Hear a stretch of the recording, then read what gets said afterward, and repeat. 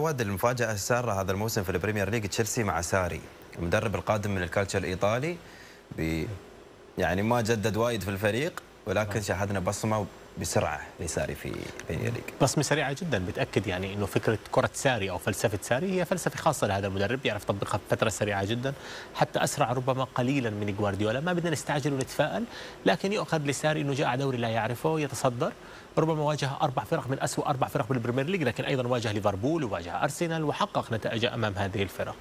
إيه، الصبر مطلوب على هيك مدرب لأنه خاصة ساري بالتحديد جربناه مع نابولي بيكون ممتاز لشهر واحد شهر اثنين بعدين بيبدأ ينزل شوي. الآن هو في وضع مريح. لمسته ظاهرة وحتى يعاب على مدربين آخرين من ساري. يعني الجميع يتحدث مثلا عن مورينيو مع مان يونايتد أنه هذا المدرب لم يشتري احدا فعليا اشترى جورجينيو واستعار كوفازيتش.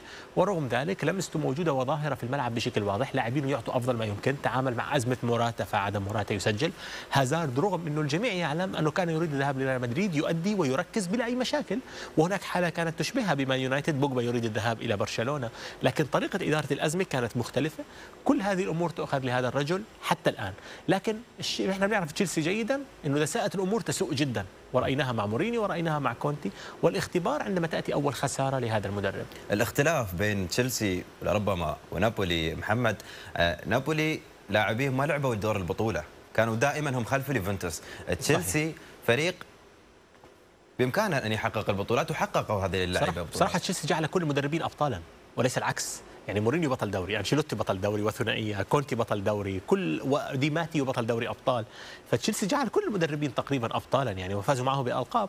وهذا الشيء يؤخذ لهذه المجموعة وهذه الثقافة اللي هي ربما فلسفة غريبة يعني فلسفة الاستقرار يعني يجب أن تأتي بنتائج أفضل. هو بالنسبة لهم فلسفة عدم الاستقرار تأتي بنتائج كل عامين تأتي بمدرب يفوز بدوري أو يفوز بكأس ويخرج.